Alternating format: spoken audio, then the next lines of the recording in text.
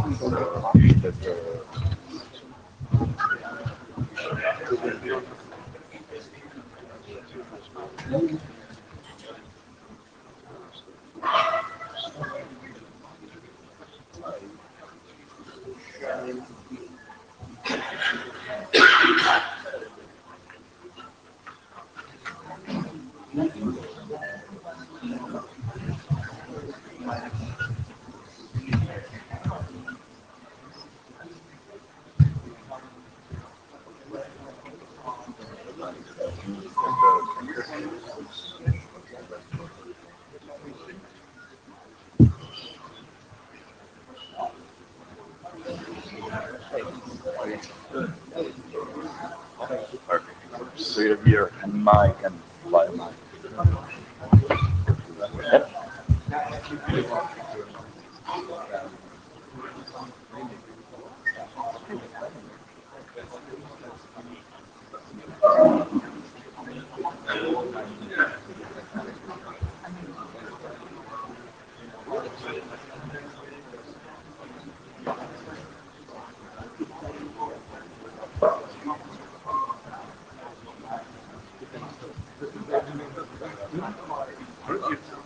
Yep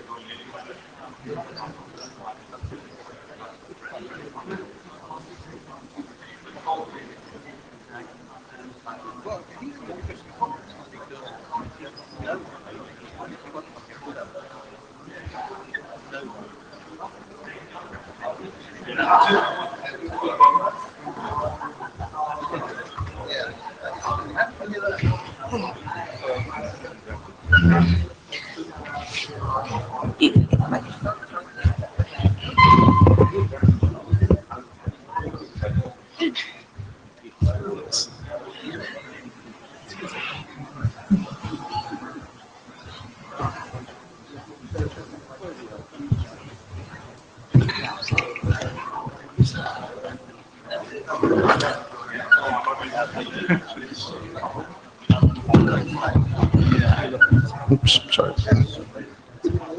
Use this other mic, it's just too far. Good morning.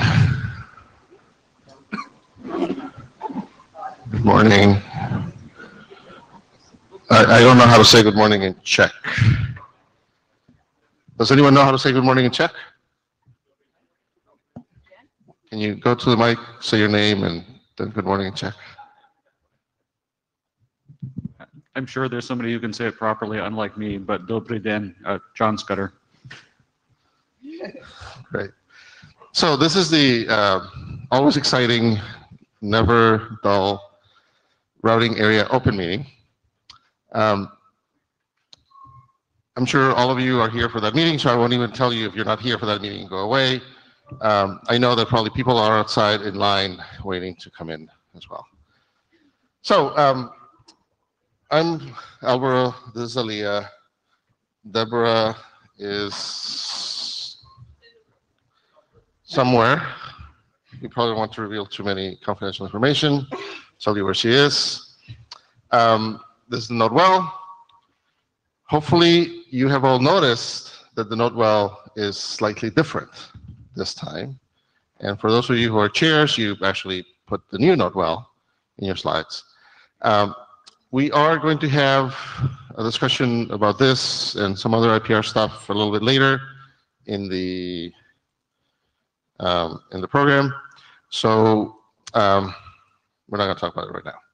There's also, they always project some other resources and tools, the Routing Area Wiki, the Routing Area Directorate, that we're going to have a report from them as well later. The blue sheets are going around, um, et cetera. As always, we want to ask to please, please, please review documents. The mission of the IETF is to make the internet work better. The tools that we have are documents that we produce for people to go implement, to go deploy, to go operate, to go do whatever they do with the RFCs. And high quality RFCs are important. And this is the job of everyone. The job of the people writing the RFCs, of the working groups themselves, of everyone in the working group, of the chairs, of the shepherds, of the ADs, of everyone else, of the directorate. So please, please review documents. Uh, there are more keys in your keyboard than plus and one. Please use them as well. Please give us feedback. If, um, oh, here's Deborah. We're not going to ask her where she was, but you know, you can imagine. Yeah. Um, so feedback to ADs. If you have feedback, are there things we're doing well? Are there things we're not doing well? Please tell us. If you want to use the open mic time at the end, you can. If you want to talk to us individually, you can as well. Um, if you want to talk to the NOMCOM, for example, uh, you can as well. You know, that's always a good thing. Now the NOMCOM has been giving us feedback, even when we are not up for selection, for example. So the last NOMCOM period, um, uh, the NOMCOM collected feedback pretty much for everyone and gave feedback back as well. So that's another way to do it, uh, if you want to do that. Um, the agenda, which I didn't update in my slides here, um, but is reflected on the online agenda, is um, this one that I'm going to show as soon that moves somewhere. I have a little duck and other things there. Um, is um, this agenda. So we're going through the administrivia stuff, of course. I said Lou is going to talk a little bit about the note well, the new note well. Adrian is going to talk about um, uh, RFC 6701, what sanctions are available, and uh, why it's really, really important to declare IPR early. And then we're going to go into the lightning round of director reports and um, working group and BOF reports. And then we're going to have enough time at the end to discuss the future of the routing area, the future of the world, anything else you want to discuss then, including, of course, as I said before, feedback to the ADs, to the area, to anything you want. So uh, the area hasn't changed much in the last uh, since last time. We haven't closed any working groups. Um, yeah, we haven't closed any working groups. We haven't created any working groups, and we didn't in the last period recharter any working groups. Um, Did you think you were showing slides? uh, I think I could, yes. Uh, it's not showing here either. I don't know what's happening. So here we go. Hold on. We also haven't changed the assignments of responsible ADs to any of the working groups. Things have been pretty static, but um, that's not necessarily how we see things going in the longer 18-month plus time. Yeah, so we see many working groups, you know, progressing. There's uh, probably a couple of working groups that in the short term we could uh, close or finish the work. Uh, and we see, you know, working groups are ready maybe for recharter, that we should be talking about that uh, as well. So, you know, the working group in general, I think is progressing. We just haven't done many uh, upward changes. We do have a BOF today after lunch that is in the routing area. It's called the ideas BOF. Uh, hopefully one of the chairs is here to talk in the lightning round. Um, so we can talk about it there. Um, that's it. So in case you don't know who your AD is, again, this is Alia, Deborah, and me, Alvaro. And those are our assignments right now. This, of course, can change, or we can shuffle uh, chairs around, or anything else we feel like. Um, Ah, so one of the issues that came up last IETF as a result of some of the work that was happening in NetMod, uh, eagerly anticipated work, I should say. Sorry, this question? Or, oh, okay. So one of the pieces that came up was discussion on how to handle the revised data store uh, or the NetMod, uh, Network Management Data Store Architecture, NMDA, which I think is demonstration that I'm not the only one who can't come up with good acronyms um, how to handle guidance for Yang models going forward. Because on the one hand, we now have a really great uh, planned architecture for how to handle um, different data stores. And so what this means is things between, you know, the configuration, being able to see what was written, but not necessarily uh, so the intended to be able to see that the operational state is to have what when you go and look at them are actually simpler, much more easy to read Yang models that aren't forced to depend on things like lots of groupings. But that technology also needs netconf and restconf extensions in order to be implementable. And we all know there's an implementable lag, you know, there's an implementation lag. I would like to see the existing IETF models able to get finished and go out, but you know, RFCs are carefully chiseled into stone. And so we had this dilemma of how to handle it.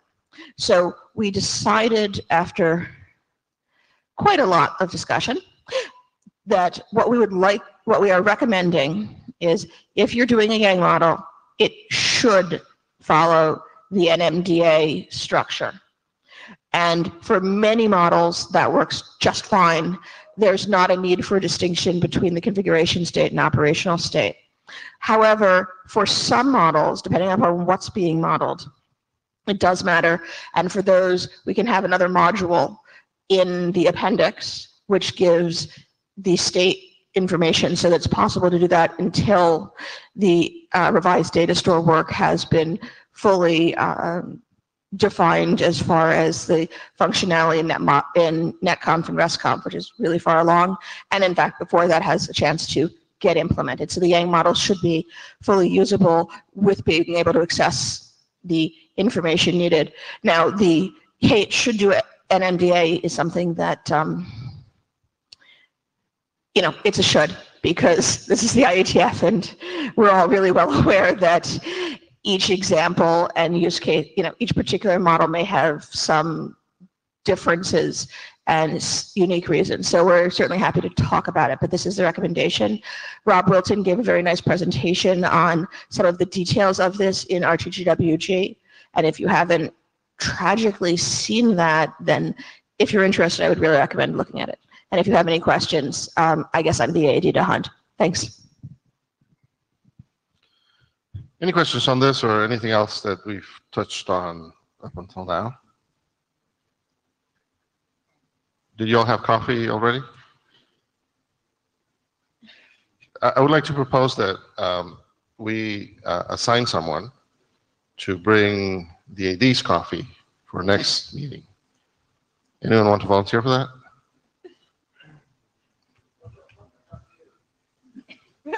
Thank you, Adrian. Adrian offered me half of his cup. That's, I'm a half, uh, last half, half full person, so I'm, I'm happy about that. At least someone replied, which is all I can ask for these days. Um, okay, so we're going to go into our next topic in the agenda, which is um, Lou talking about um, the new note well. And uh, Lou, we have a clicker here. Hopefully it will work.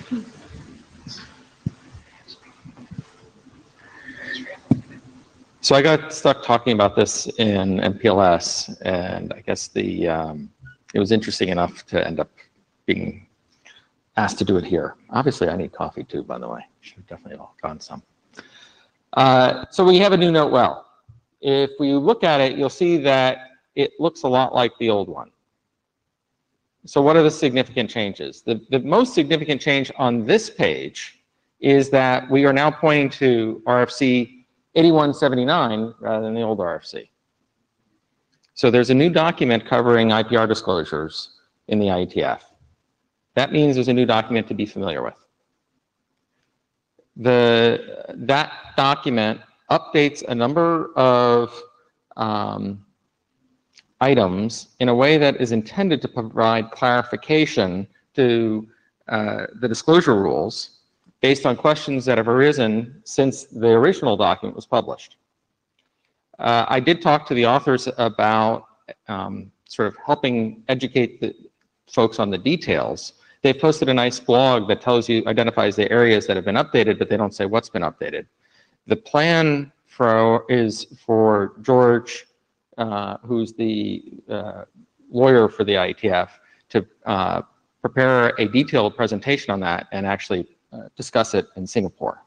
I'm not sure where it's going to be presented in Singapore, but if you're really interested in being walked through the details as well as ask questions about the details of um, 8179, there'll be an opportunity there. But what are the key takeaways? Number one, there's some clarification on uh, what is a contribution.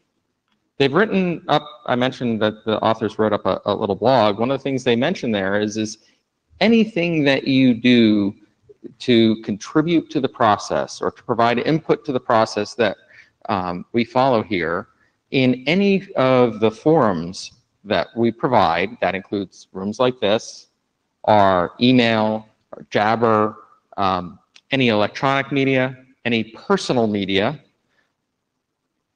in any of those forums, any contribution, even as something as subtle as a frown in a public forum, can be taken as a contribution. So for example, John just contributed by sort of smiling at my comment. Now, it turns out I don't have any IPR on this, so it's not a big deal. But if I was talking about a technical idea and he smiled and that was taken by maybe the chairs as support, and he knows of some IPR that's related to this, and the reason he's smiling is, yeah, that's my thing. I'm going to get it advanced. Um, he just contributed, and he would, under the new rules, be obligated to disclose. So the document also tries to be pretty explicit, explicit on what do you do if you don't want to disclose or can't disclose. We've all come into um, situations, or many of us have come into situations where we know that there of some technology that we personally are patenting, patenting or that the company we work for, or that someone we're working with has a patent on the process, and they don't want to talk about it. What do we do then? That's going to happen. This is clarified in the document. It basically says you can't contribute at all. You can't smile or frown when that discussion has taken place. When that occurred with me personally. I never entered the room that the working group was uh, uh, discussing that idea that I was working on. I didn't subscribe to the mailing list. I occasionally read archives, but in no way did I contribute in that area. That was my personal take on how to deal with the situation.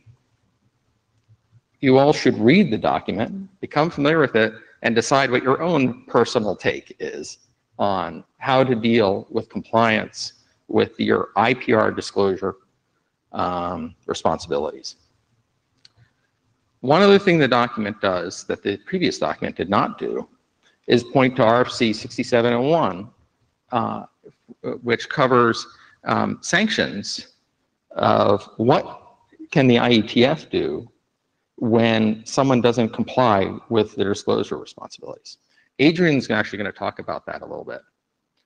Um, the one thing I want to talk about, the last thing I want to mention is what is the responsibility of an IPR holder? So someone who is not a participant in the IETF, but holds IPR. What is their responsibility to the IETF process? Turns out it's nothing. They have no responsibility to disclose their IPR. They have no responsibility to come to the IETF and talk about it. They have no responsibility to say that um, the thing you're doing directly matches my patent.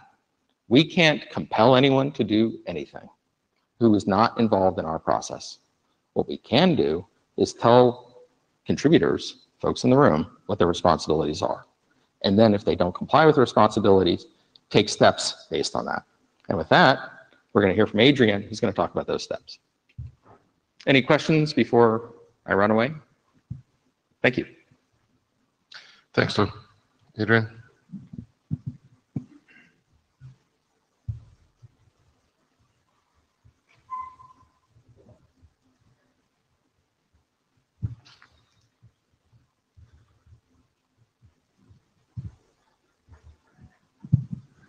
Uh, I'm Adrian. Uh, I have more slides than Lou, but promise to be quicker. Um, given how full the room is, maybe the ADs, if the ADs think this is an important topic, there may be other fora for distributing the information. Um, so, I am not a lawyer. Uh, that's actually quite important for me to say for my own protection and for you to be aware of. Um, and I'm also not studying law. Uh, so this is this is important legal stuff. It affects your life. Um, uh, protect yourself and your employer. Your employer probably has uh, somebody um, responsible for all this. Use them, get advice, find out what process you should be following, and use them to file disclosures on your behalf so that um, you can hide behind them while still fulfilling your requirements. So why sanctions? Um, the point is that we want people to disclose. Uh, all disclosures are, are good uh, because they help us understand what we're building and why. Um, but late ones can be disruptive. Um, we might have to go back and revisit work, um, but they're still better than no disclosure. Very late disclosures, for example, disclosures that come only after an RFC has been published, uh, can actually be really disruptive. We may have to uh, return stuff to the uh, working group. Um, uh, we may have to um, respin uh, an RFC with completely different uh, mechanisms. Um, but they're still better than no disclosure because still you actually know what IPR is out there. So what do we do? Well, what does it mean when somebody files a late or a very late uh, disclosure or when they completely fail to disclose? Um, uh, well, firstly, it shows a lack of respect. It shows a lack of respect for um, the IETF, for the people who work here, for the industry, uh, and uh, in my opinion, it shows a lack of respect for the work that an individual is doing. It can be really disruptive um, because we've invested a lot of time and energy in a particular solution, and now we need to go back and decide whether we do it all again. It may trick us into making a particular protocol choice that we thought we were making, like on a toss of a coin, but actually, if we'd known about the IPR, we'd have gone a different way. Um, it may actually be bad in law, and I'll come on to that in a moment. Um, and just essentially, it's an abuse of the IETF process. By being here, you have signed up to, to follow the IETF process. So what do we do about that? Um, uh, RFC 6701 describes some sanctions that can be applied by the IETF to people who abuse the IPR process. Um, it's pretty clear that the punishment should fit the crime. Okay, so we have so far not had any executions for violation of IPR rules. Um, but there have been cases where, where minor things have been done. Um, the decisions and punishments are made by the working group chairs working with their ADs for support. And if you're a working group chair and this sort of thing happens, I strongly advise you talk to the AD straight up so that you've got backing for whatever you do. Um, and you should also talk to the individual concerned because um, they may have a, a, legitimate reason why something went wrong and you don't want to punish them too strongly. Well, you might want to, you might enjoy it, but you shouldn't. So what might happen in the IETF? Uh, 6701 has got this long list that ranges from just having a chat to having a chat in public so that everybody knows it's happened, uh, or even a reprimand, um, uh, some form of name and shame, that can actually be really quite powerful. Um, you might move on, especially with repeat offenders, to say, well, you're not going to actually edit any more working group drafts, or we're not going to accept any drafts that come from you because you've, you've, you've blown it too often. Um, and you might remove somebody from editing position. Uh, you might even deprecate uh, their RFCs.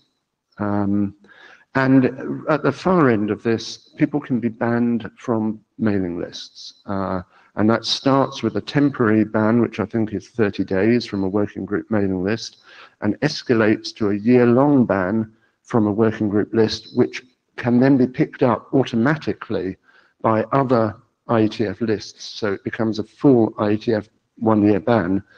And in absolute extreme cases, that can be made into a permanent but revisitable ban from IETF mailing lists. So we can, at the top end of this, say, you just messed us about too often, no more participation.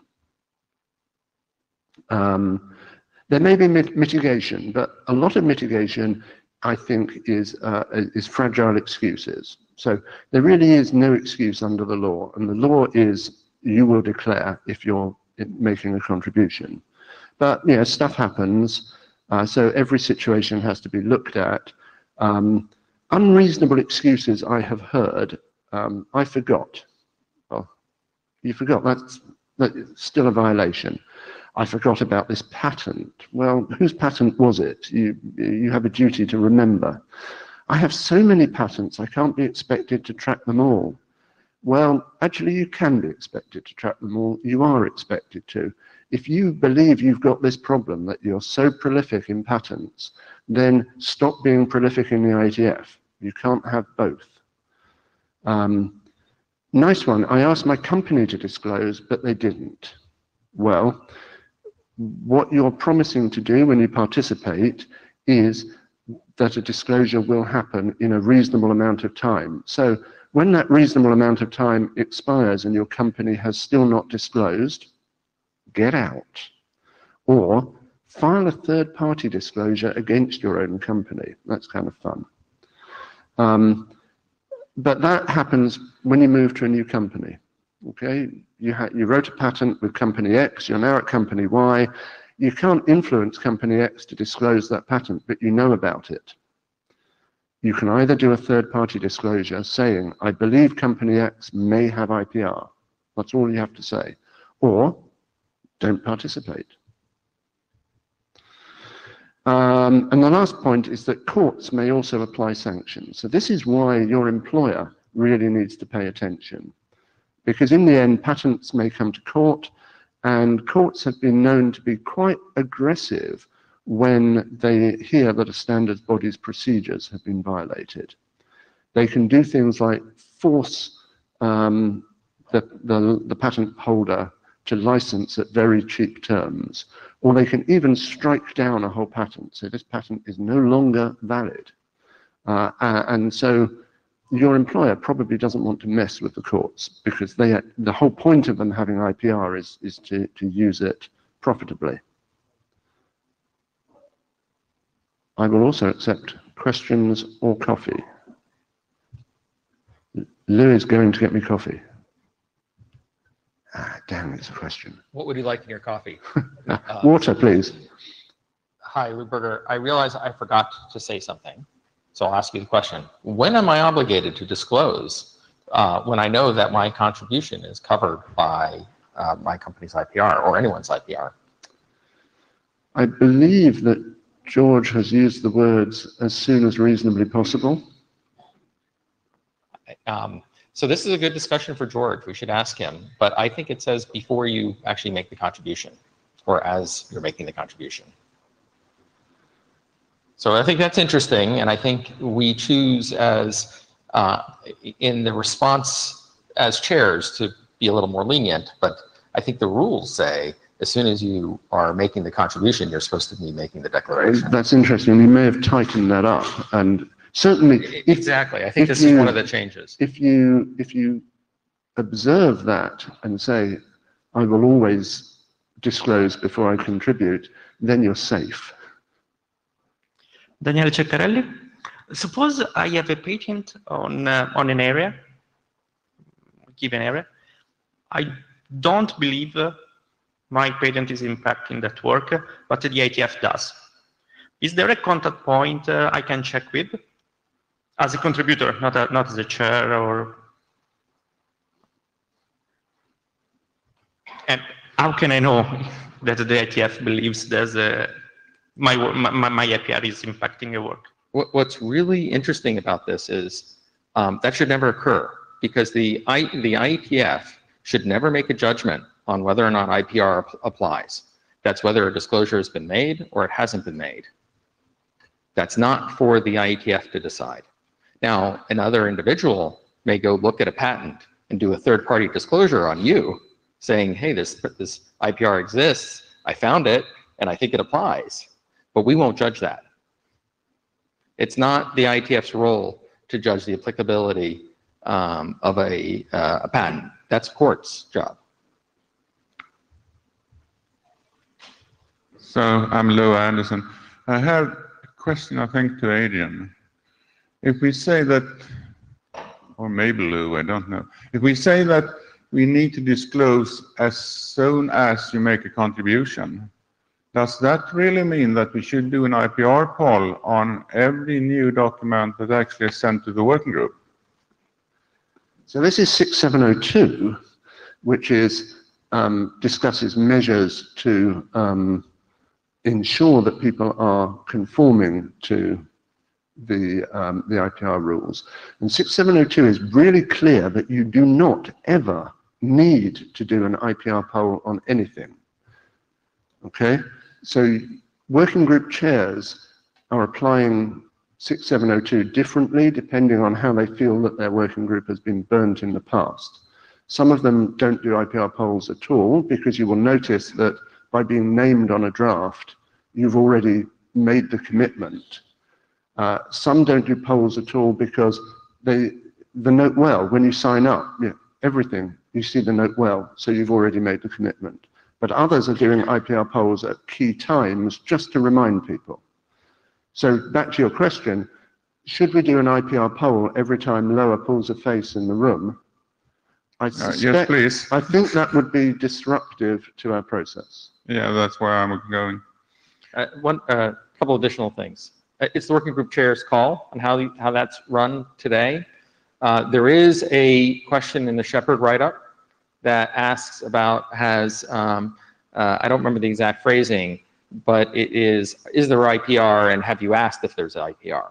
So there is some obligation for the Shepherd, it's not on that working group chair, actually, on the Shepherd to ensure that um, uh, the disclosures, that everyone has followed the disclosure process. So how do they ensure that? The only way I know how to do it is by, by asking. It, Um, it's actually on, on, only applied to uh, authors and contributors. It's not to the working group members in general. I, I don't believe that's true. That may be how it's. So we just heard from Joel saying that the, the text is as Loa just characterized. I The, haven't, the obligation, though, of, uh, on IPR disclosure applies to anyone who contributes in, in, on a particular topic. So if you contribute on a topic, you have that obligation, whether or not you're just sitting in the room or you're the editor, you're the author. The obligations are the same according to, uh, what is it, 8179, whatever the new RFC number is. so, no- slightly other subject. Um, When we have, if we actually ban someone from a mailing list uh, because of IP, IPR disclosure violations, we actually stop that person from doing uh, kind of future uh, IPR disclosure. So it's something that is kind of a bit blunt. If we if we know that uh, that person has more, more than one document in, in the working group, if I ban him, he can't make a disclosure on the other. So I, I just made a contribution there, um, which people who were watching my face will have noticed.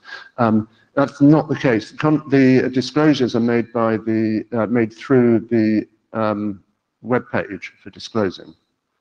So you can do that, and you can obviously you can read any mailing list and see what's going on, so you can be aware. of Adrian, is that true for third-party disclosures also? Uh-huh. Okay, thanks. Uh, Sorry, before you, you ask your question, um, I just want to say real quick that it is true, yes, we don't have to ask everyone. It has been, I think, a good, pra- a practice in the area, which I think is a good practice, to remind people whether they have anything to disclose at key moments. Many working groups, what I, it's been my experience, adoption, working group last call, that should be enough to remind people that they need to disclose, right, in case they, whatever happened. So I, I just want to say that, that I think we believe that this is a good practice and something that those of you who are already doing it should continue to do. So, yeah, I know. Keyur, Patel, Arrcus. I actually think it's a good practice for working groups um, to make this call earlier because as it stands today, you can have a standard that could very well be an IPR by a company and an implementer. It would be great for implementers to know if there is such a case, then how do they go about um, handling such situations. Um, so a working group would be a right place. Right, and, and, and operationally, uh, I think as to follow on what Alvaro said when he said key moment, there's a tendency to do that at adoption and at last call, and that sort of covers both. So the question is, there's usually delta about three to 18 months between filing a PR and it appears first time online. So I've witnessed there's possibility after declaring IPR, which is unavailable online. So it's unavailable in general to say, I don't know what your IPR is, but I don't like it, so I want you to document the progress till it's available, which could take any time afterwards. So I think you're alluding to what does a working group do if IPR is disclosed? And whether or not you can read it or not, the process is um, the IETF doesn't discuss the substance of the disclosure, whether the or the validity of it. Now, working group participants are more than welcome to take whatever steps they think are appropriate to then vo- to voice an opinion on whether or not they support the work. Um, that has been covered by an IPR disclosure. Some groups are really want to um, uh, push towards um, sort of open licensing. I know this has been in the security area. They have made uh, they've intentionally avoided uh, encumbered technologies. That's been the choice of that group, of the groups doing that work. In um, a particular working group, if there's an IPR disclosure, the group can decide whether or not it wants to proceed um, with the technology, with the draft, with um, uh, based on that IPR disclosure. Um, it's a working group consensus process. It's not about the validity of the or the applicability or the correctness or necessarily even all the details. Certainly, it's helpful for people to form their opinions based on what the details are. Um, but in terms of our process, we're not going to discuss those details. We'll only discuss whether there's consensus on a document, on moving a document forward. So, so I think part of your point, Jeff, is that it's impossible to engineer a solution around IPR that you can't see. Exactly. Um, so one of the influencing factors that individual participants may consider when deciding whether or not to engineer around a solution is what the licensing terms are. Now, for clarity, I am not seeking to influence the way that companies license their IPR.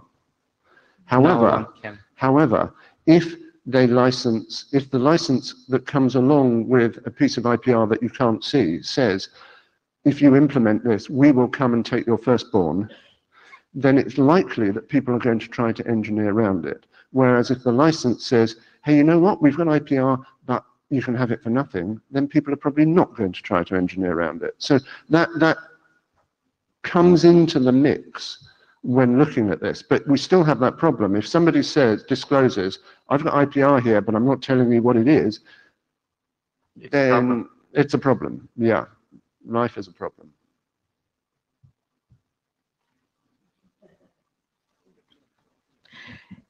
So before we run off stage, just a reminder, uh, you just have two people talking about their personal opinions here. Um, Talk to your company uh, attorneys, read the documents for yourselves, uh, and if you have questions and want to hear from the IETF's attorney, uh, that's, that'll happen in Singapore. But right now, you've just heard from two individuals, not anything beyond that. Even though, e- Sue him, sue him. right. Even though we may wear certain hats in the IETF, these are, we're just two individuals talking our, uh, our personal perspectives. Thanks.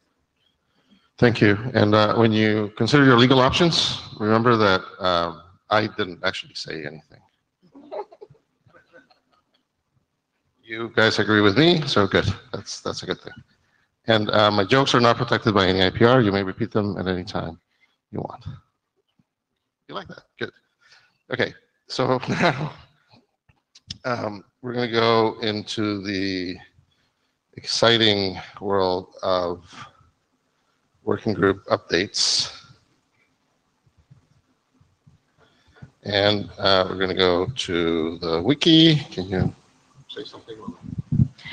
Sure. So I noticed that despite my requests, um, Babel hasn't filled itself out yet.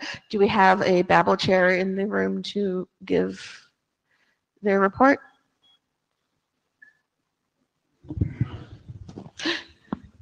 Oh, thank you, Russ. Excellent. Now I don't have to ad lib. You don't have to yell at me? Well, I thought it was already filled out, so there you go. That's our coordination. We need a better coordination between Babel.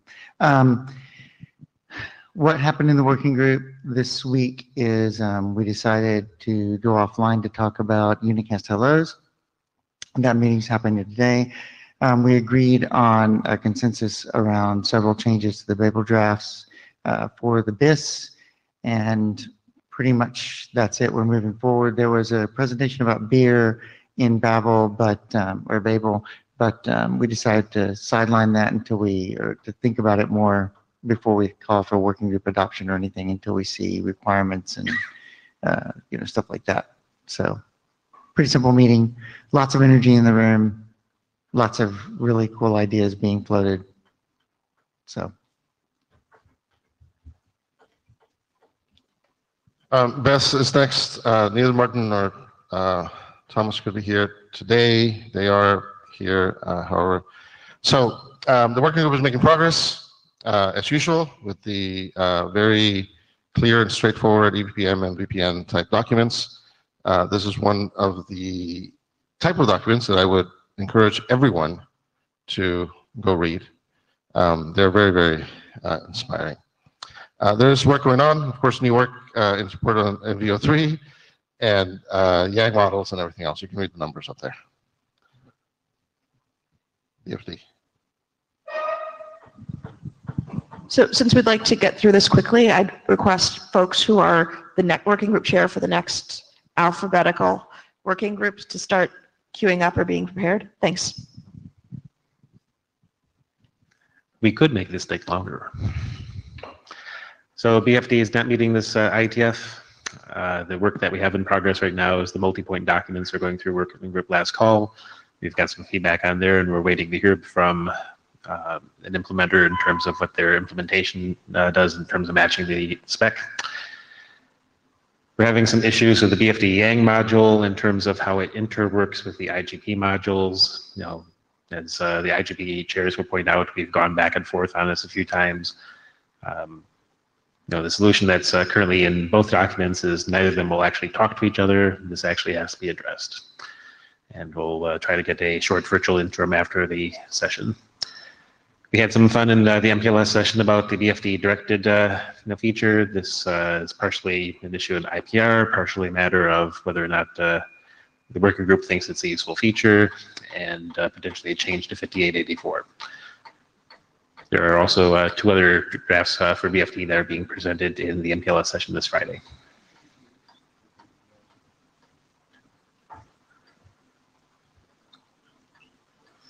BIER.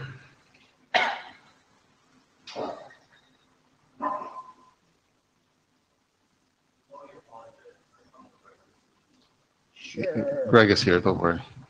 I'm here. Can you open up so I can read? You put nothing in there. I, that's not true. I just refreshed it. Well, let me refresh it again. We just had this dialogue. I put this up. That's bizarre. Huh. Uh, all right. we have a bunch of uh, drafts that are actually coming out of the last call now. Uh, we have one in the queue, which is the architecture draft. We've got one outstanding discuss on that that I think has been addressed really well by the list and the authors, but uh, whoever's got the name of the discuss hasn't really fed back yet. Um, the other point that's probably going to be launched now from the group is our work towards justifying move from um, experimental to standards. Just following the, the charter information, getting the draft in place, reaching the, you know, the full four bullet points that are from there, and then feedback from the field. I put it up this morning. There, wa- there was an edit merge that took place when I first did it. Someone else had it, and then I merged it and saw the diffs. I believe you. On the merged one, not obvious. People don't look It was pre-coffee. So, so please remember that um, we're in the middle of the week. So ideally, you maybe put information even before you meet. So some of you may actually have to go and refresh on this. Right. So, yeah, it's okay.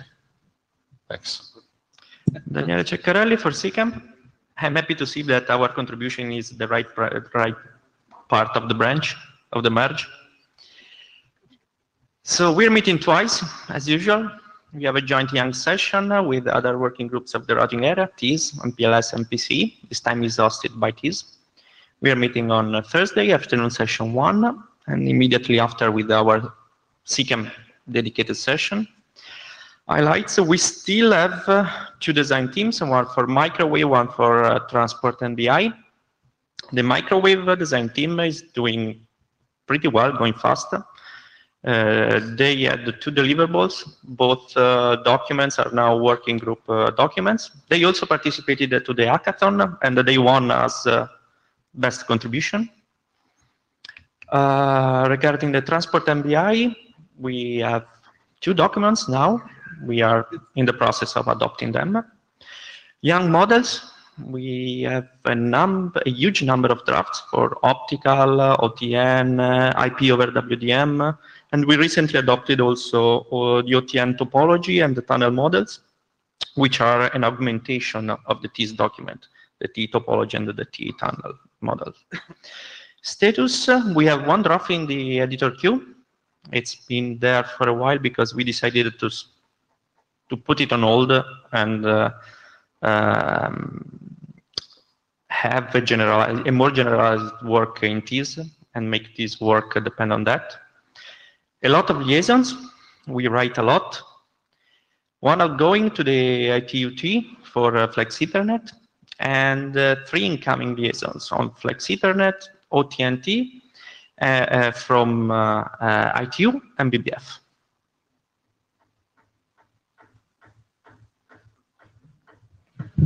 Okay, Pat Thaler, DetNet. Um, so the focus for this meeting is moving forward on the data plane. Um, we uh, think we're converging on pseudowire MPLS and IP over 802.1 TSN. We're also uh, looking at the definition of the service parameters and we're talking about the traffic treatment that's required. Um, and uh, we're going to have discussions on security and um, there's also uh, a little demonstration of the DetNet data plane actually providing protection for failover. So there's a cute little Lego robot that is balancing and uh, we show that, um, yep, we can keep from losing the packets and keep the robot uh, balanced without falling over uh, when we take a link down. So that's basically it. I2RS. Uh, we had two sessions this week.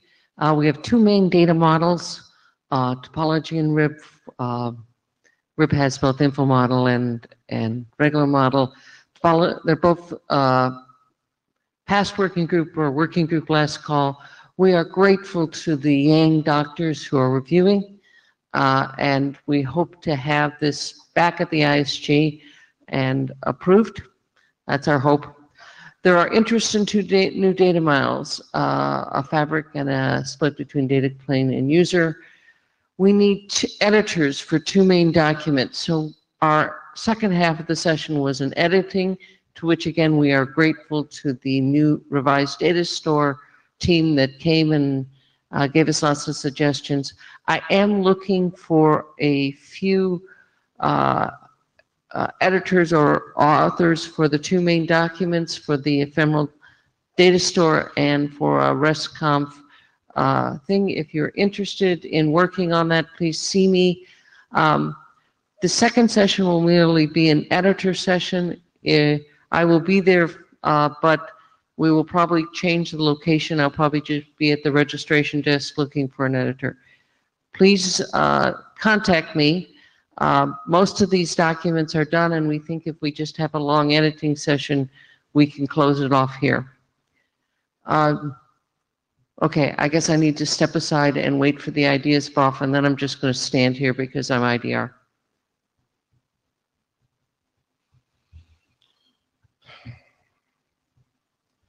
Okay, it looks like uh, the IDEAS BOF chairs are not here. Uh, Tim Musinski and Brian Haberman are the chairs for that BOF, which is going to happen this afternoon, uh, right after lunch at 1.30. Uh, I'm not sure where. So like any other BOF, uh, why are we here? We're going to talk about the problem statement, uh, some discussion about what needs to be done, and then this is intended to be a working group forming BOF. So the normal questions are going to be asked. Is the problem statement clear? Is this work that the IETF should do? Who's going to actually do the work? And uh, then we'll see where we go from there. So uh, please go to the ADS this afternoon. Okay, IDR. IDR is Thursday, 9 to 12. Our topics uh, are we still are considering um, trying to respond to operators uh, and make sure we're getting through things. I sat again at the Grow uh, working group and we found we're still not getting through some of the things the operators need. So again, we encourage operators to be there and tell us what we need to do. We're trying to get rid of squatting by early allocation or changing allocation. So please come and see the chairs list. We really have things on the list on um, BGPLS. Uh, John's got a really good discussion thread there. If you want to talk about it, John's here, uh, and he'll take care of it. Say, John. Okay. Uh, other things we're going to talk about are flow spec. Our flow spec V1 had, again, operator input, and we believe that the revision that now makes it, uh, clears up any spec uh, problems is ready for working group last call.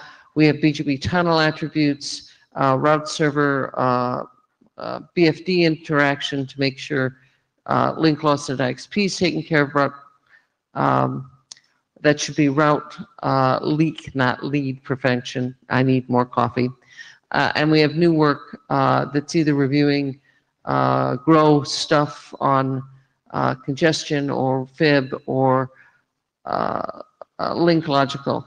Come and see the new work and listen. This is a good IDR as we have a little extra time this time, so come and ask questions. Bye.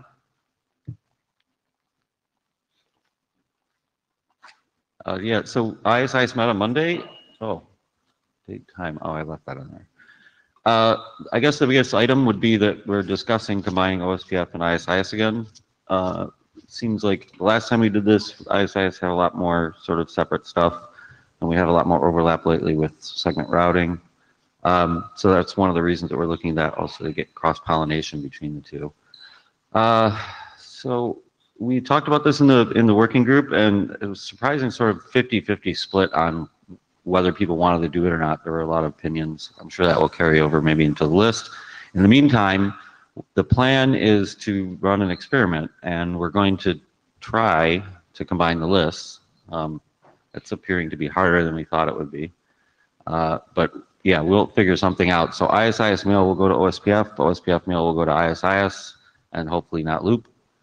And then we'll run a combined session, um, not just a back-to-back session so everybody can leave after the first one that doesn't care about the second one.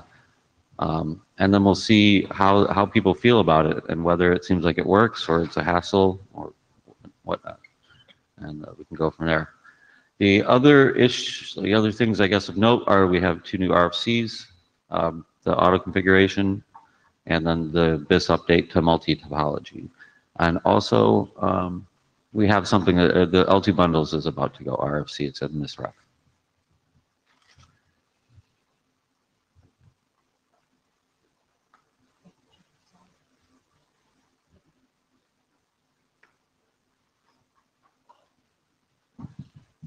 L2 TPEXT, I don't see anybody here. Um, They're not meeting. Um, They had one new RFC, um, and that was on their IPv6 tunnel. Okay, LISP met on Monday at 1:30. We've had one RFC recently published. Very many thanks to our ADs and to the RFC editor and to IANA because we ran into a little code point allocation problem, and everybody worked together to solve it, so that was great. We've got one document under final IESG review, one in working group last call, bunch of things we've adopted for interesting work. The real key is those two main documents right there, 6830 bis and 6833 bis. Both are in good shape, are progressing. Our goal is to get those to proposed standard, and we are hoping to hand those up soon. I don't know what soon means yet, per Adrian's screed somewhere, but we're trying, that's the thing that is currently the high priority for the working group, and so we're going to do that. There's some individual drafts. There have been some individual drafts that requested uh, adoption, and not enough people spoke up, and so we said, well, okay, there's still individual drafts.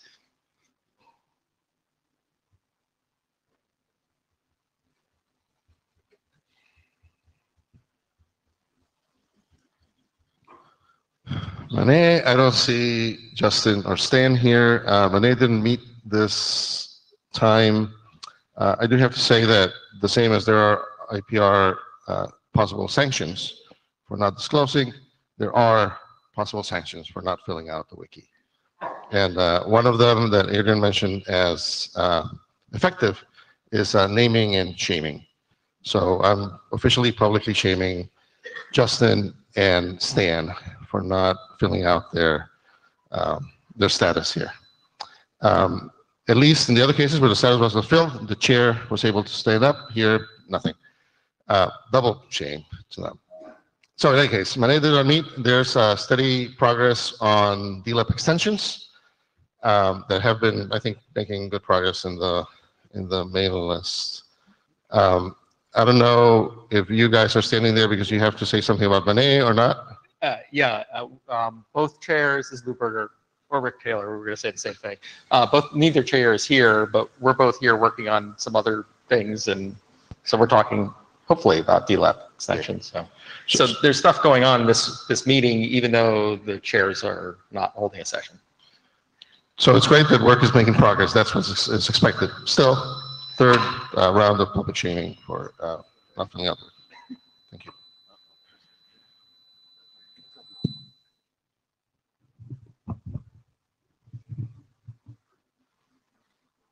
Radio. Okay, so I'm Loa Andersson speaking for MPLS. Um, we have had a couple of things that has been kind of rocking things a bit. George couldn't travel and our secretary couldn't travel this time. Uh, George because uh, of financing, I think, and Tarek because of weather. It was raining in Toronto.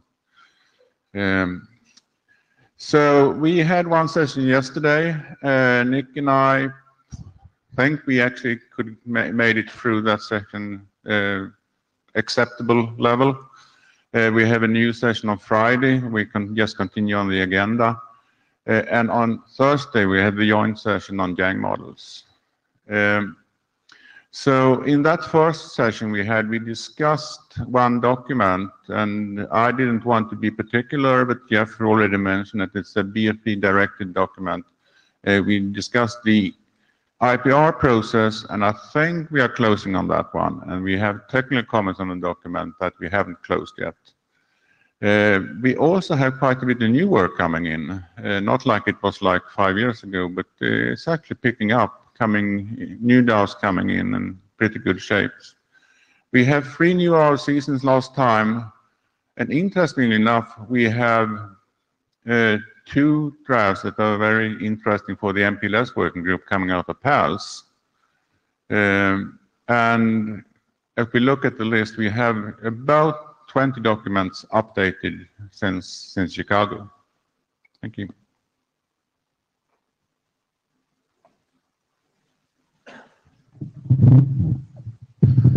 Um, hi, uh, Matthew Bocci for NVO3. So we're meeting this afternoon at 3.20.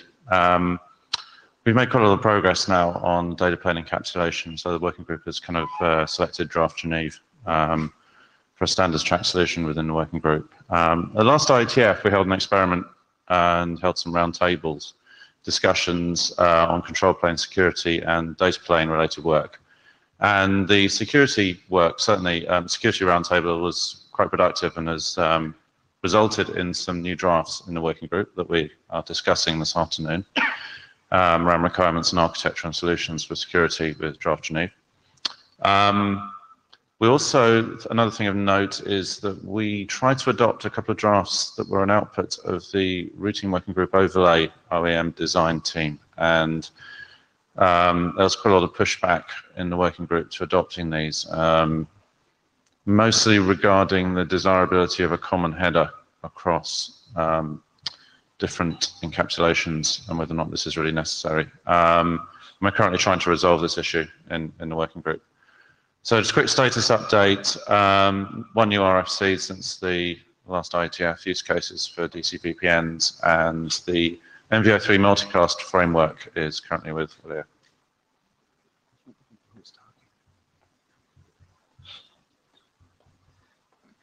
Acee Lindem. We met yesterday. We had a nice intimate meeting uh, adjacent to MPLS. Uh, Chris already uh, covered the fact that we're going to have a truly joint meeting in Singapore as an experiment with uh, the like set like uh, topics interleaved. For instance, if we have segment routing or uh, attributes, we talked about attribute uh, reuse or things like that. We talk about both protocols back to back. In terms of OSPF specific highlights, the extended attributes for OSPF v3, we have we have two implementations. We're gonna, we're going to proceed toward uh, publication on that, and that's really a great milestone because then we'll get to a truly uh, TLV-based protocol, not only for the, uh, the the LSAs we've added in uh, recent years, but the base LSAs. The TE attribute, we've been discussing this for a long time. We have a meeting among to, to talk about how we uh, get consensus forward. Let's see, it's tomorrow. Uh, that's an ongoing discussion. And we didn't have any new RFCs, but uh, I think the segment routing draft is ready for AD review again, and the tunnel encap draft is also ready for AD review again.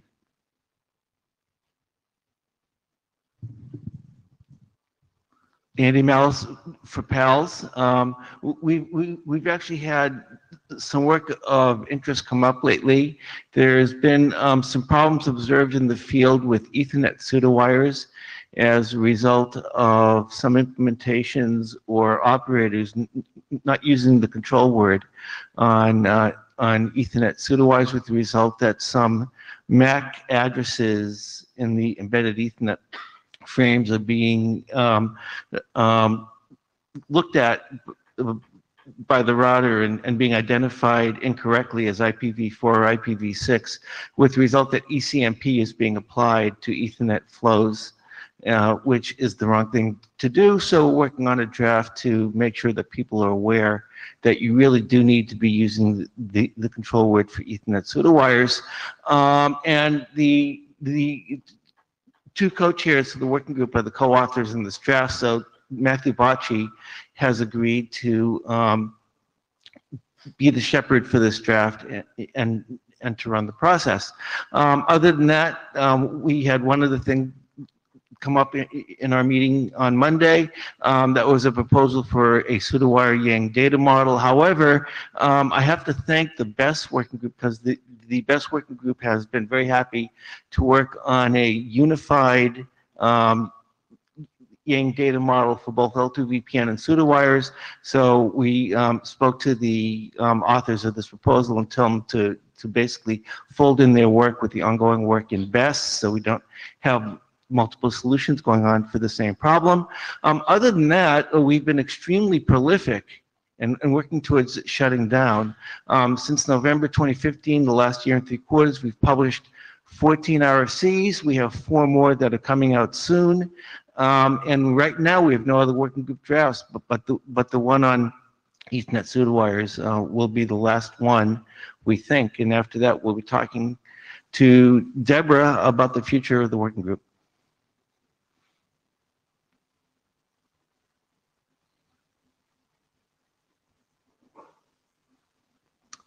Julien Meuric, Path Computation Element Working Group. We had a meeting yesterday evening colliding a bit with the bus departure for the social. Uh, anyway, it was an interesting meeting. One of the major events related to the PC working group is the change of secretary. Uh, Daniel King has stepped down, so we thank him for the work. And Dhruv Dhody has agreed to be our new secretary, so thank to him too. Uh, main topic discussed yesterday, the use of the PC as a central controller, uh, some work related to the stateful PC extensions and the hierarchical um, ways of using the, the PC, some optical specific extensions, and we may also mention the disagreement that ended the session yesterday that may require some talk with Deborah, who's already aware of the, the topic there. Uh, from the administrative perspective, we have we haven't published any RFC since the previous meeting, but we really think we will have a bunch of them before the next IETF because we have four in the RFC editor queue, three with the AEG, and some other coming up in the near future. So we hope that considering dependency between uh, a set of the documents there, they will be released soon and published as RFCs. Thanks.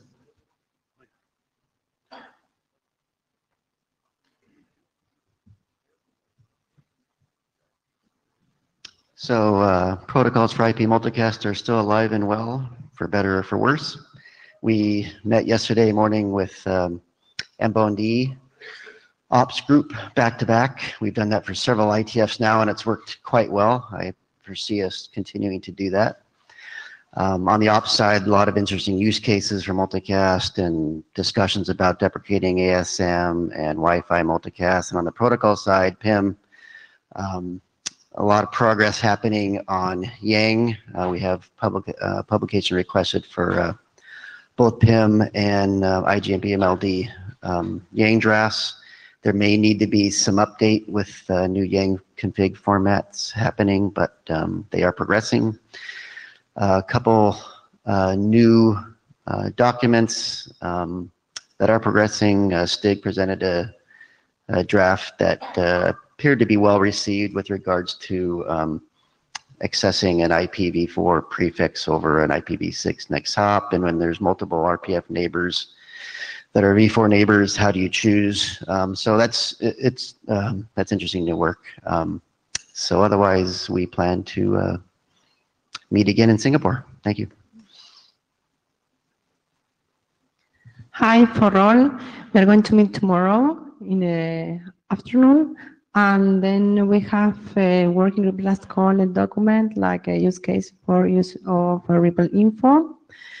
Uh, where we add uh, some updates to RFC 6553 and 6550. So we want to the working group to decide if they agree or not. And then uh, we are working in the working group topics that we have recharted. And uh, we have the syslaw routing header finished. That is the RFC 8138. Uh, okay, so the topics that we recharted and we are working currently is like constraint multicast, uh, source routing multicast for RPL, uh, DAO projection, DAO modifications, ODB RPL. They're going to be presented tomorrow, and we are not uh, we are not going to present like this modification and YANG model for MPL this time. Uh, um, additionally, we are going to have a related internet draft presented tomorrow as well. It's about the um, parent selection. Okay, thank you.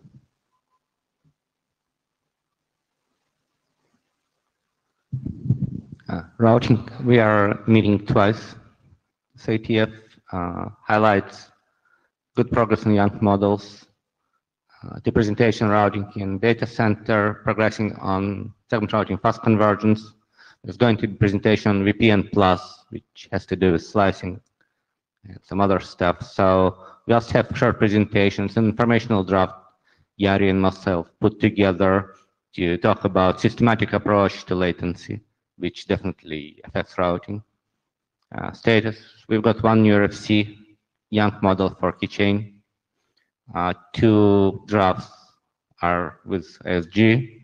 We are going through working group last call on YANG routing types, and there are a few more drafts that are in process.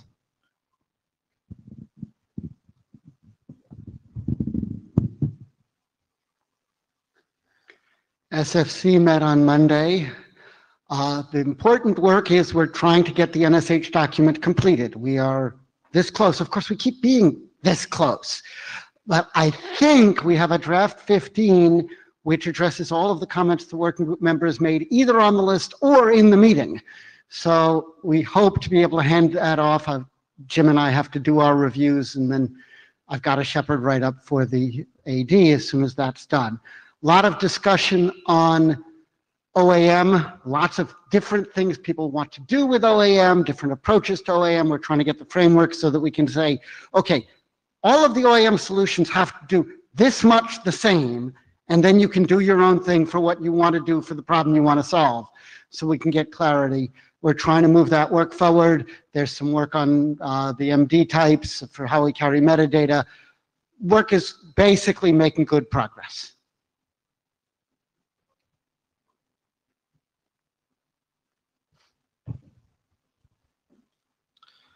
SIDR. So Sandy is not here. She uh, didn't travel. Chris is here. So I'm going to have to shame again uh, Sandy and Chris for not uh, filling this out. Uh, SIDR didn't meet this week. So, Uh, so actually, Alvaro, this is Chris Bowers here. You might want to check the revisions because I, I went and looked at the revisions on the wiki. For example, Greg did in fact post something on BIER in version 31. So you might, before shaming, I just want to, you know, save you from that shame of false shaming. Uh, you might want to check the uh, the history there. I'm not saying that this is a case, but um, could could be there. So because Greg's are down there in 30 and 31, I, I just want to point out. Right, so Greg is there.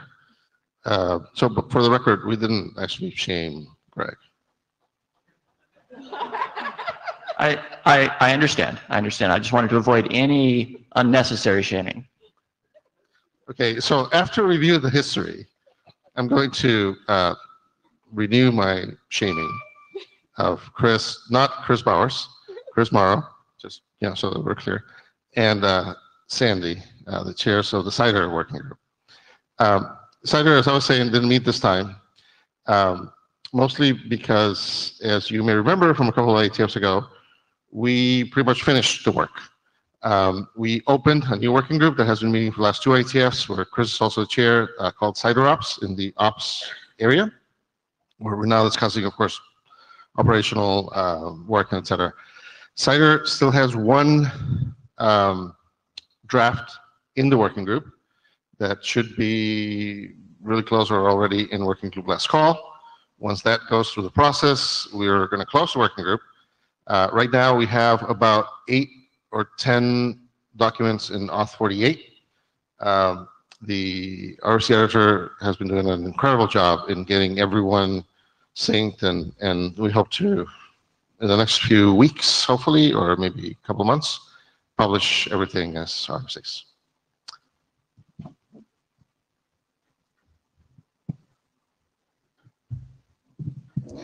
Legrand, Spring. So Spring is not meeting this week. Um, in terms of highlights, we have um, the Spring conflict resolution, which is under working group call, which is good because it has been a long discussion in two working groups, starting in ISIS and moving to Spring. So we're progressing. Um, as of today, we have eight uh, big documents in uh, ISG hands. And as of next stage, so we still have a few ones to progress. Um, we have started uh, initiating a discussion on possible recharter. And we may adopt a, a few or a couple of one uh, in the meantime. In terms of status, uh, we have just then sent to ISG uh, the LDP interop draft. So it's part of the 8 one. And as part of the review of the OM use case, we've got a comment that it's more than the use case. And it may be uh, to start track, so we, we, we may have to discuss that. And finally, a big thanks to, to Alvaro, which has uh, a big set of large document to, to handle. So thank you. Alvaro. Pavan Beeram TEAS. Uh, we met for our regular session uh, yesterday morning. Uh, we have what is now uh, like this customary joint YANG session coming up uh, tomorrow afternoon. In terms of highlights, uh, the modeling work that's being done um, has reached a, uh, an acceptable level of maturity. The TE topology model is NMDA compliant now, and as per the authors, it's last call ready. Uh, the TE and RSVP models are not NMDA compliant, but uh, there are significant portions of the models which are uh, uh, sufficiently baked. Uh, in terms of ACTN, uh, the framework and requirements documents are almost ready for last call. There's a request from the chairs to pull in some uh, text from an individual draft to either one or both of these documents. Uh, apart from that, uh, these are sufficiently cooked. Uh, there are also a few other documents under the ACTN umbrella which are um, uh, progressing quite well and uh, getting ready for adoption. Uh, we also adopted some new work. There's this draft that talks about uh, SR LSPs and RSVP LSPs coexistence that got adopted recently. Uh, in terms of document status, we have one new RFC, the six for which we put in publication request in recent weeks, and there are two new adoptions. and I'm glad to be last. Um, Trill. Trill is completing a lot of existing work. Uh, we have about 17 drafts going to working group last call. Uh, we know this because uh, prior to the hi- hiatus, um, we know this because uh, we've been gratefully accepting the revision that the that the uh, ADs did to the routing directorate. We Trill had a lot of drafts uh, that uh, were sitting waiting for routing directorate uh, review. There are people who have been very good to review things for us. Thanks. Uh, we have nice engineering solutions, by the way. If you're in NVO3, you should really look at some of the stuff that's going through at the end. Uh, at least you can learn from what, what we've gained. We have areas of work that are being completed, in these 17 drafts for directory service, uh, multi-topology, multi-level security ECN. Um, we are having this time very focused drafts on things which uh, these reviews uncovered. For example, Trill over IP, we finally got a really terrific cool review from Magnus Westerlund, and he pointed out a whole bunch of things. Um, previously, we'd gotten a really good review from Alvaro on, and the int director on ARP optimization, and we're just talking about these things and some things with fine grained labeling. Uh, we're presenting uh, one or two last pieces of new work that uh, will are in the middle of adoption prior to our hiatus. Uh, so, and then this is one of the drafts. So if you are one of the people in routing who's asked to review all these drafts, know that ahead of time we really appreciate it. Uh, thank you. Great, thank you to everyone um, who we did not shame. Um, uh, It's great Sue. thank you for closing with uh, thanking the directors. We're going to go, John is going to present a uh, quick report on the routing directorate. Uh, We know that many of you are part of that, so thank you for that work. Um, One of the reasons that I like this is not just that it is you know so exciting uh, for everyone, but also because it it informs right what people are doing the work of the routing directorate. Um, some things that popped out at me just because I'm thinking about that is there were a couple of uh, there's a couple of work that, for example, could be leveraged. We could leverage other people. Uh, reviews is not only that we talked about at the beginning, but reviews is not only the work of the routing directorate. It's the work of everyone. And when we can leverage, say, other working groups, for example, there was uh, some architecture work, I think, on multicast architecture for NVO3 or something like that. Uh, PIM is there, right? There's a bunch of multicast people in PIM. Uh, there's some work that I saw in the ROLL report around multicast. Well, you know, we don't have to adopt the work anywhere, but we could you know, send it for a review. Um, there's this work that was called just now on uh, SR and RSVP coexistence.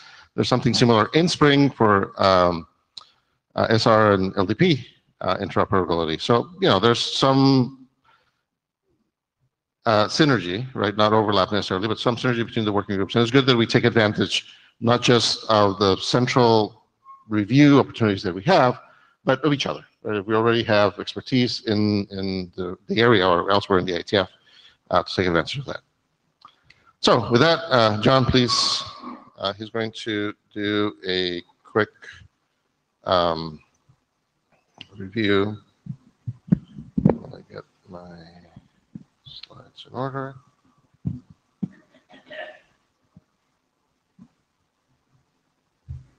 Okay, so just a quick report from the, the routing directorate um, covering the last four months. And um, this is on behalf of myself and Amy, who's the other coordinator for, for the routing directorate. There a clicker? Thanks. Um, so just a reminder of the role of the routing directorate is um, a panel of routing area experts and they're appointed by the ADs. We currently have 46 people on this panel. Um, and their job is um, on the panel to provide expert reviews of drafts, um, which can either be at IETF last call, um, either from inside the routing area or from outside the routing area, um, or um, before we get to the IETF last call, while the documents are still in the working groups, we, the, the directorate can do early reviews on those documents. So if uh, chairs want uh, a sort of external pair of eyes to come in and have a look at a document, see, you know, um, just to get a second opinion on it, or you know, just to do some sort of quality check, then the, the directorate do that too. Um, we tend to assign our reviews across the directorate using round robins. So if you're on the directorate, it means you could end up with some random draft to review. Um, you don't need to be a deep expert in that area of technology. In fact, it's usually better if you're not, because then you can sort of take a higher level view and look for, for, for wider issues, maybe check for readability or things that are not explained, which a working group will not necessarily see, um, but which become really important once you get the, uh, the draft further along the, the process to the IESG. Um, but we will occasionally handpick reviewers, so if, if the chair needs a, particular expertise to, to review a draft, then we can do that too. Okay, uh, more information on the wiki. Uh, the statistics, uh, just to show you what the directorate has done uh, this last IETF period, uh, we've reviewed 32 drafts. They're about 50-50 split between IETF last call reviews and working group reviews, uh, maybe a few more on the IETF last call.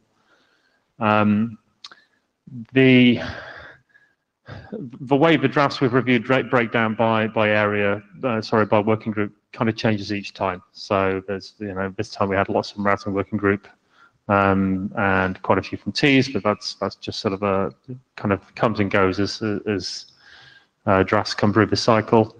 Uh, in terms of results, 3% um, of drafts we reviewed were not ready. I think that's just one of the 32.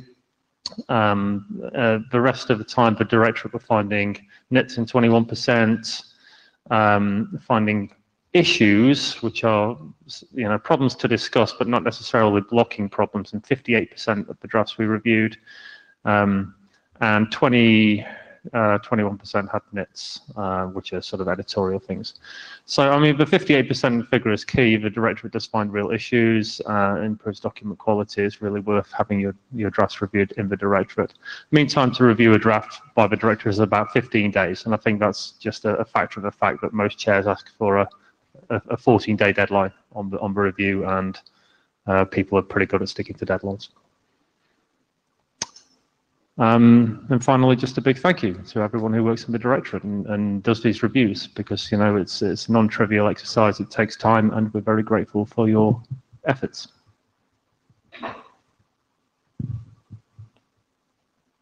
Adrian. Uh, Adrian Farrel. So thank you right back at you um, for administering this.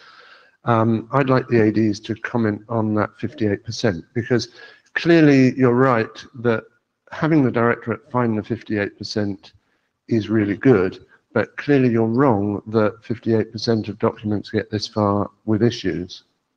Is not that because that's not good. I, I agree. That's not Good. Um, now, one thing I want to point out is that maybe roughly half um, are early reviews, right, which are reviews that the chairs request uh, earlier in the process, uh, maybe before can do a call or at some point. Now, I think, uh, and I don't know this is the point that you're trying to make, but the point that I want to make is that we shouldn't expect external of the working group reviews to find the 60% of the issues, right? Because the 58% that has issues that maybe we need to, we should have resolved in the working group before. And uh, obviously more stressing is that 3% that is um, not ready. Now, not all of these drafts are inside the routing area. Uh, once in a while, when there is IETF last call of documents that are related to the routing area, we ask for review of those as well. Uh, for example, recently we went through the exercise of making the IPv6 specifications uh, internet standards. And so we asked the directorate to review those documents because we thought, you know, they're related, strongly related to, to the routing area. So some of these documents, and, and I don't know if we have a breakdown of that or not, but some of them um, that may have had issues or not ready could have been those. In any case, the important thing, the, the important point that I want to make is that uh, this is one of the reasons why I have said a couple times today that it is important that we review, re-review, that we all contribute to the work in the working group. I see too many plus ones and too many just yeses. Do you support? Yes, yes, yes, yes, yes, uh, in the working groups. And uh, we should be working. Uh, just because you trust me and you think I do a good job doesn't mean that I didn't screw up my draft. And uh, in my personal case, I mostly do. So please review um, review the work. And uh, even though the program director is doing a great job, um, and again, we want to thank everyone for that, uh, it is important that um, we do the reviews inside the working group as well.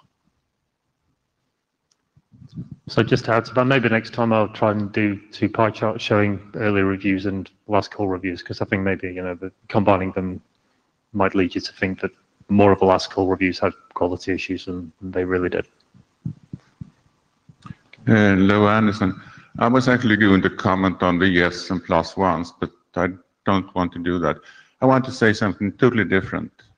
I don't know about the rest of you, but I need to state how much I actually appreciate the improvement of the work in the uh, routing area directorate over the last year and with the people get, getting in and actually taking it seriously. And we know now we're actually doing good reviews. Thank you very much. Thanks. Yeah, so I was just going to say, you already picked up on the two charts, but uh, Alvaro mentioned that we also do reviews of outside. So if we want to measure ourselves, also maybe separate out non-routing. It's it's sort of there. The it's, it's hard to read, but uh, non-area is the top line on the right-hand chart. We we did two out of thirty-two. Yeah, just for that. Oh, well, Yeah. just for that fifty-eight percent thing, though. Right. it's not statistically significant this time, but we, yeah, over a longer period, yeah, maybe. And just to come back, um, I, I think it's Alvaro said we should really try all to, to try to review the documents earlier in the process. Um, but I also, I don't see anything wrong with, um, uh, the directorate reviewer giving, um, a mark that it's not, you know, ready, has issues, because I don't see these as failing grades. I, th- I see this as just trying to improve. Um, it's no different than if do an ISG uh, review, if you get a discuss on your document, don't take it that you failed or something. It's, it's, everything is meant just to improve. And um, so there's nothing wrong. So we don't want that the directorate now starts giving A plus pluses to everybody when actually just, just to make this chart look good. Yeah, I mean, the goal is, the whole point of having the reviews is constructive criticism and getting them better. But I also want to echo Alvaro's point.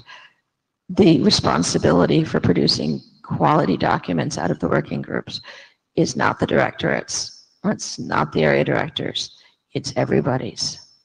And one of the aspects of going to a round robin is that you're now dependent on, um, I mean, obviously we all have expertise, but I don't have expertise in everything.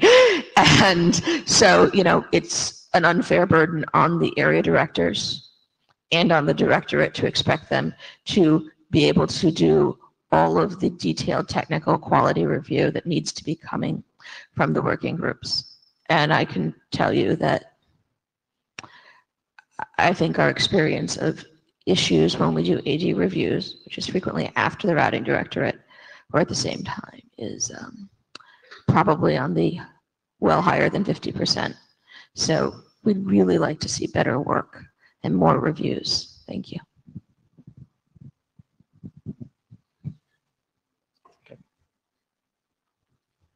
Okay. Microphone. Okay, so now we are on to uh, open mic. Anything you want to discuss, please get up to the mic. John. John Scudder. Um, you, people who were awake through the whole lightning round, I'm sure noticed Sue talking about, uh, in the IDR portion, about um, code point squatting, blah, blah, blah. Um, I had considered asking you for some time during this meeting for, you know, it, it's one of these boring but important topics, and I, I didn't get around to it or preparing any materials. But I'd like to suggest that um, either at a, a um, you know one of our periodic chairs virtual meetings or something, uh, it might be a worthwhile topic to talk about um, code point allocation. And in particular, I've been surprised by the number of people, especially IETF old timers, who you might say don't understand, or you might say have different opinions about how the different uh, IANA allocation policies actually work. And um, I'm concerned that we're not making enough use of IANA to do work for us, and instead we're trying to do the work ourselves, and we're not as good at it as they are.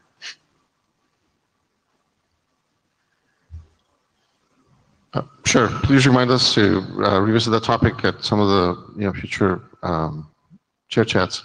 Um, I don't know if it was the last IETF or the IETF before, uh, Jeff did a presentation on uh, considerations around allocation and squatting and early use and other things. Um, I think he did it here. So um, we'll, please look up the, the materials. And I think, I know, John, you're talking about other, you know, further beyond that. The other thing that I wanted to point out is that uh, whatever the RFC was for IANA considerations was just BIST. And uh, it is now uh, some other RFC number uh, in the 8000 series. Um, most of the work that they did there, they tried to clarify some of the uh, procedures and allocation policies and, and other things. Um, it might be a good idea to um, to also talk about that, or, or to get maybe IANA or someone to give us a um, a refresher or, or an overview of the changes and, and things along those lines. Yeah, I think that would be great. I, in- particular, um, yeah, I, I remember Jeff talk well. But uh, in particular, I'm suggesting what, what you said, which is to focus on the IANA part of it, which I think a lot of us think we know what's in there until we go and read it, and then we're like, oh, actually, it says something different. Rick Taylor. Uh, just trying to cover a topic that was missed out because the MANET uh, entry in the wiki was missing. Um, since the last meeting, we've managed to get RFC 8175 out, which is DLEP, um, which I think has applicability outside of MANET. Um, if you have interest in BFD or you're working in a core routing protocol, OSPF, IS-IS, DLEP is probably of interest to you when you start to get beyond the fixed network. So can I just ask people to have a look at it, see whether it's applicable to some of the corner cases you have with your core working group work? I think this is following on from Alvaro's comment about some of the working groups are doing and producing work that has much wider applicability than just their, their original niche. So 8175 is worth a look. Thanks, Rick, for, for that and for the reminder.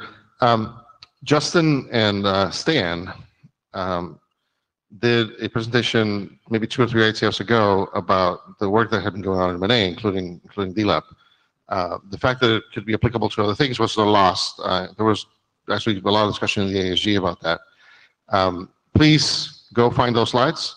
Um, the other thing that we had started a discussion after that presentation with some of the other working group chairs, for example, ROLL, about the fact that there is, you know, usability and then things that we can share. Um, just because we're doing mechanisms that we seem to be targeting at mobile, you know, ad hoc environments or IoT environments, that doesn't mean that those aren't applicable to core networks or vice versa, right? Some of the uh, methodology and enhancements that we're doing to core networks could be applicable in other places. Um, last Saturday, just to tell you a story because we have time, we spent uh, seven hours, and I'm not going to go through the whole seven hours. We spent seven hours in a coordination meeting with the IEEE. And one of the topics that we talked about was around uh, multicast in wireless environments. And as we were discussing, you know, one of the things was, uh, well, we're not trying to do things like multicast and PIM, and it doesn't work over 8211 really well. Um, but during the discussion, um, we found out some work that had been going on in uh, 6LoW, for example, you know, extending the 6LoWPAN neighbor discovery mechanisms that could apply or could solve some of the problems. Now, in general, we maybe, I don't know, people are, are thinking about that, but, but we see IoT enhancements and maybe we don't think they, they apply to other things. I'm not saying those drafts are the solution to every problem uh, with multicasting wireless networks, but it is something that we need to consider. Uh, the more that we cross uh, pollinate and we talk to each other and that we reuse solutions, uh, I, I, think probably the, the better when, when we can, of course.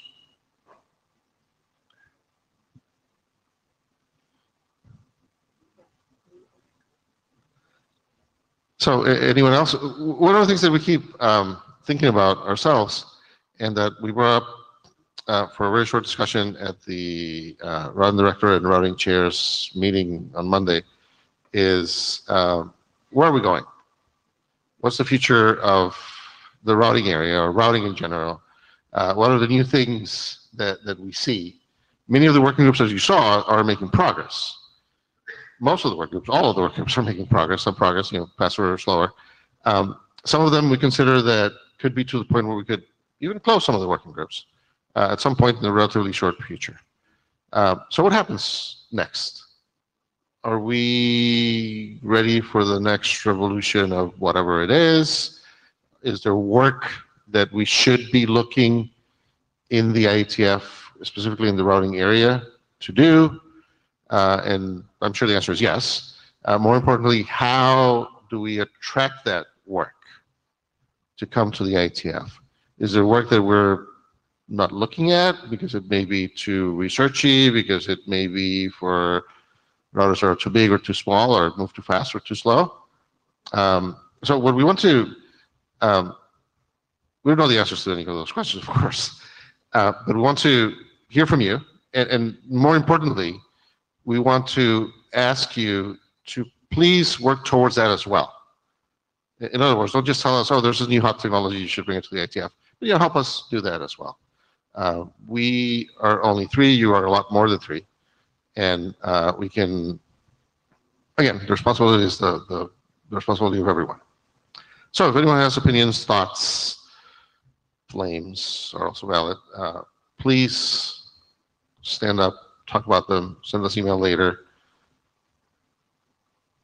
Talk amongst yourselves. Write something down. Any other option? You okay? Thank you, Rick. Rick Taylor again. Um, I'm the chair of delay tolerant networking, which is in transport. Um, currently, we're not chartered to do routing because that would probably be a routing area task. But we're we're out of the IRTF, we're now into the IETF, and we're trying to standardize how do you push packets and data around in deeply disrupted and heavily delayed networks. So it's email 2.0 done properly.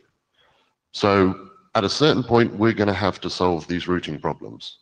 And we're kind of transport focused, and I'd love to see more guys with the deep routing expertise who are sat in this room or sat in this room's working groups to come and help us solve these problems. Again, they're not charter items yet, but at a certain point, we're going to finish our current set of documents and we're going to read charter and routing is going to be there. So we, we'd like to kind of engage with you guys sooner rather than later. Can I suggest, thank you for the suggestion. Uh, Can I suggest talking to Chris Bowers and Jeff Tantsura, the chairs for RTGWG? This sounds like it would be a really excellent discussion for that working group to bring in and educate folks on what that problem space is, so at least people start thinking about it, know to pay attention. Sure. I mean, my transport AD may, might tell me off because we're not chartered to do that work yet, but it's coming. So RTGWG is chartered to do, discuss new work where we're not sure where it belongs yet. So it seems like a really perfect fit. Perfect. So that, that reminded me of something else. There's this other working group called uh, IP Wave, uh, which is called Vehicle to Vehicle Communication or something like that. And uh, they have been working right now on just running IP over uh, 802.11 OCB. Yes. Um, during the original charter discussion, they had routing items in there. Not only because right now they're working on how do we connect the car to the infrastructure pretty much, and how do we run IP over that layer two um, piece. Uh, but in the future, you want to probably communicate between the cars or between the car and someone else, and you are going to need some type of routing stuff in there. Uh, so the working group, that working group is not chartered to do that. But we also know that at some point, they, the, the need for the work will happen. Um, most likely, we might not charter that working group to do that, but we will need a place to discuss and do it. So if you have time, go to the TN, go to IP Wave, start looking at those uh, problems because they could come uh, to the routing area as well.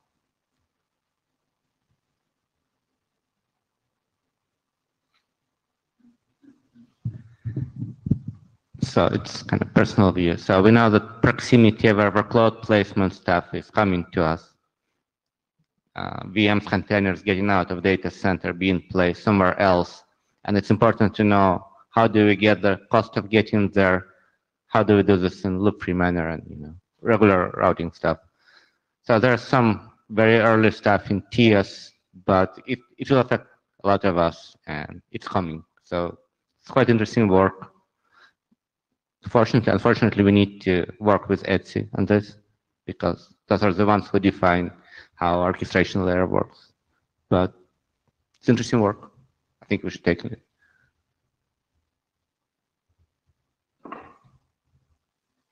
J- Just another reminder uh, to what Alia already said, uh, the routing area working group is chartered to take on any uh, discussion of potential future work. Uh, In the charter, um, the main part of the charter actually talks about how the routing area working group can serve as a mini BOF type place, right? Where we can go discuss things that maybe it's not mature enough for an actual BOF. Um, The other things that the IAG, for example, has been making statements over the last few years has been around um, that we can accelerate work. You know, we don't need to go through two BOFs and one non-working group, non-working group forming one, and then something else, and then whatever, and then figure out a bunch of other documents before we can actually start work.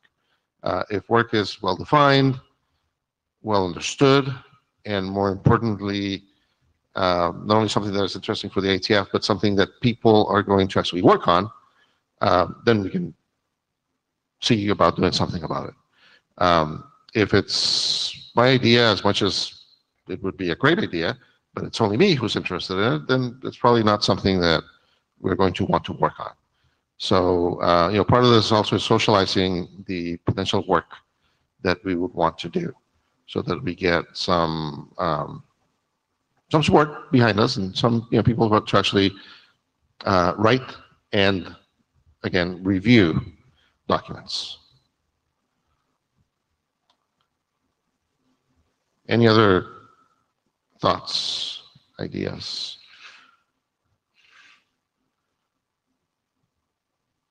Then I guess we're going to leave you the uh, remaining uh, 45 minutes to go brainstorm this topic and uh, talk among yourselves. Uh, In case you need the coffee, there's a little coffee place across the street as well. And just a reminder, we only have one BOF this time. But, you know, we really, really are open and interested in bringing in new work and other communities. And we need your help to do that. Thank you. You can go. Or you can sit here. That doesn't matter to me.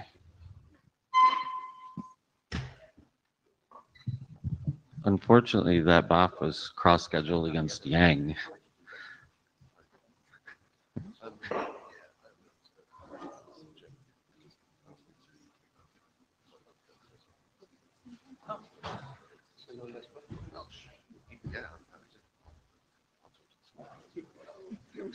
I, I haven't sent email. I, I think I can make Thursday. Is- is- I didn't look at the list. Is everybody coming? I, I. Invited, everyone invited. Well.